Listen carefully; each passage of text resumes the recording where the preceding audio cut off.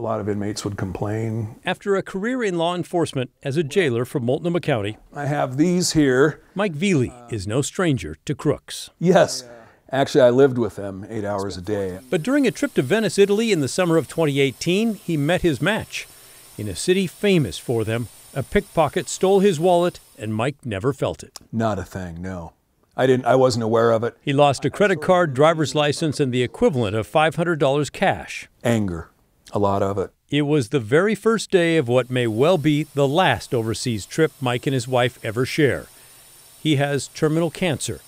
The doctor said there is no cure. I'm the kind of guy that wants to know, just unvarnished, what's the reality?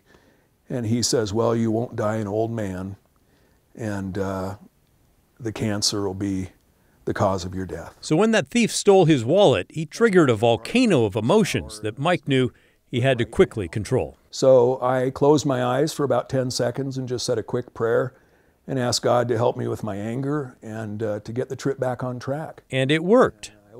He would forgive. And that was the critical component to forgive this person because if I didn't, then that anger would be forefront in my mind, right? And the anger would dictate my trip.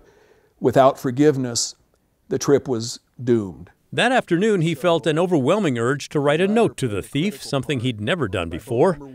This is what it said This is my last trip with my wife. I'm dying from cancer.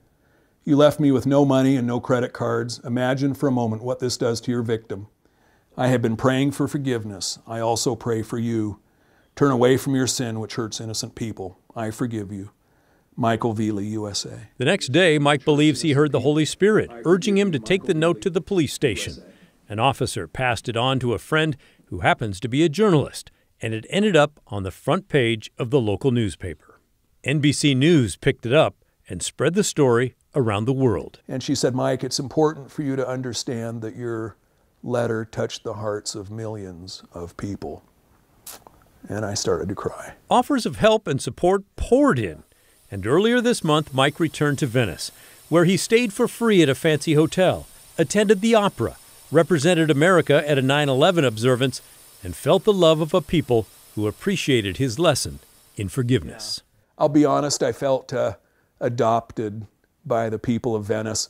Everywhere I went, I mean, I'm just a guy, you know, I live in a Brush Prairie and, and uh, I have a dog and a family, but, but all of a sudden, there's just this outpouring of love from the people of Venice. Veely said the love he got back was way more valuable than the money he lost. Back to you. Love it, Pat. Thank you.